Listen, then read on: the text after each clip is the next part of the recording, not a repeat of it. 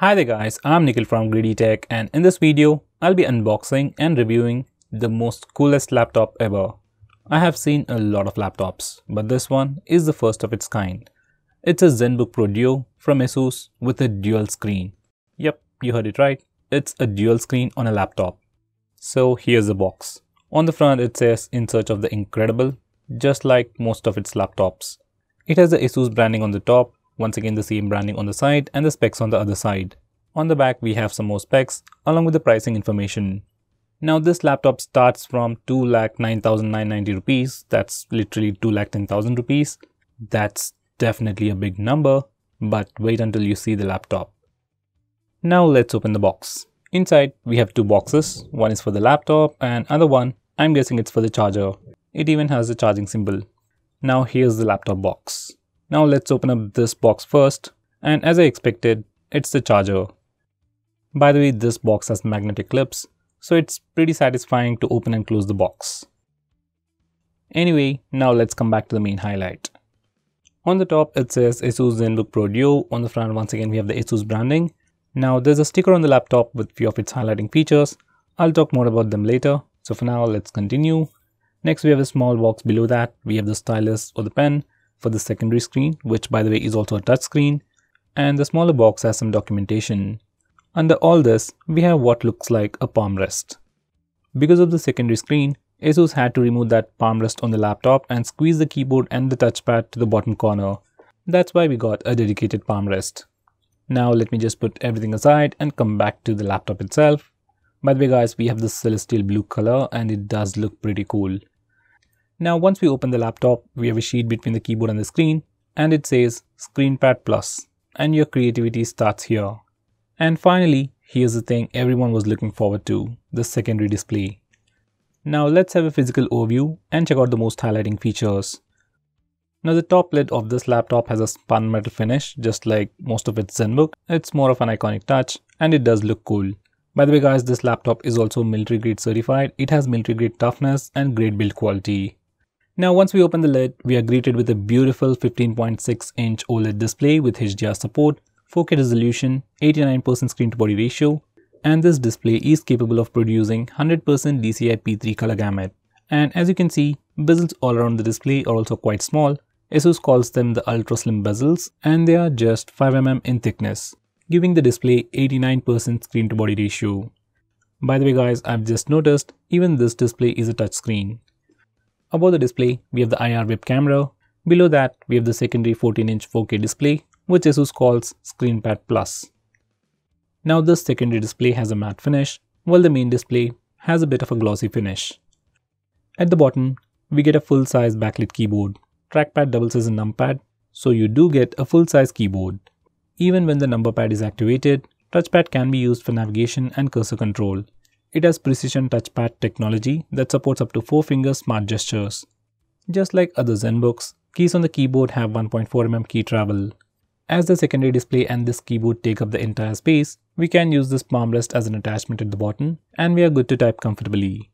Now on the right side, we have the USB 3.1 port followed by an exhaust vent, 3.5mm audio jack, Thunderbolt 3 USB Type-C port. It also has two LED lights for status indication and a speaker on the bottom side. On the left side, we have a charging port, a HDMI port, once again a USB 3.1 port, an exhaust vent at the top, and a speaker at the bottom.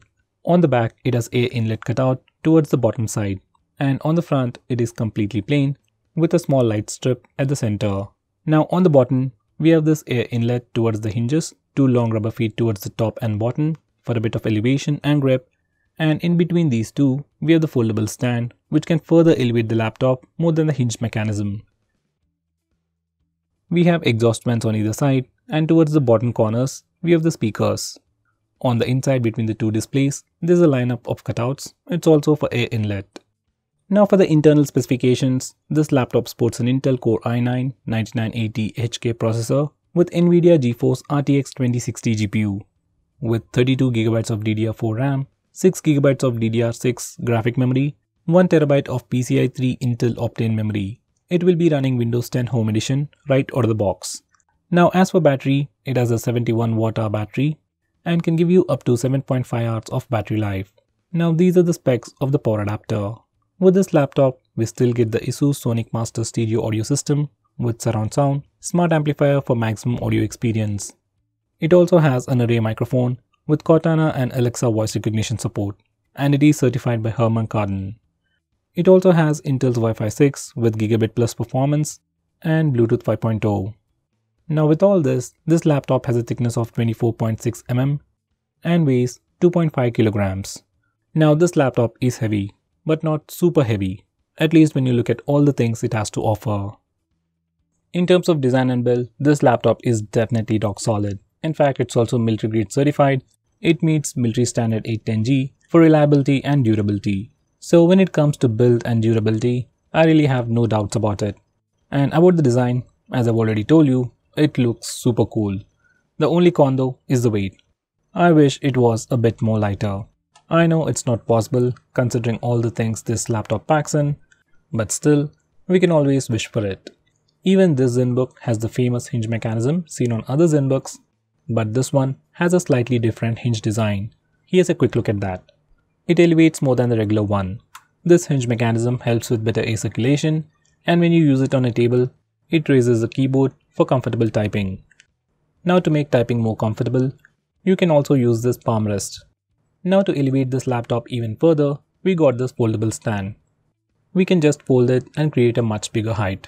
I'm not sure how convenient it will be when you're using this laptop while traveling. Keyboard feels pretty good to type on, gives soft yet clicky feel, and this keyboard is also backlit.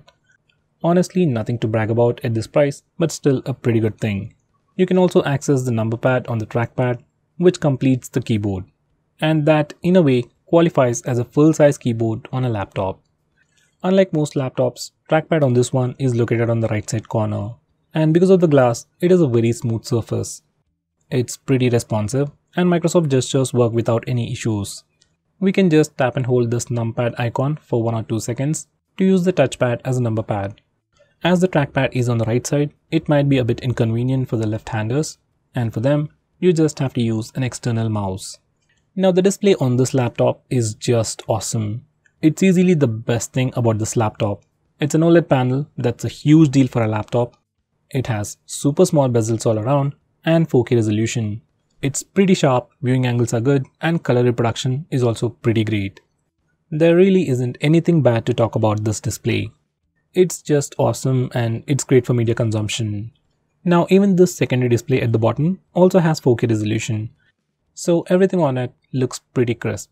It also comes with a matte finish to prevent glare from the ceiling lights. Seems like ASUS has put a lot of thought into building it.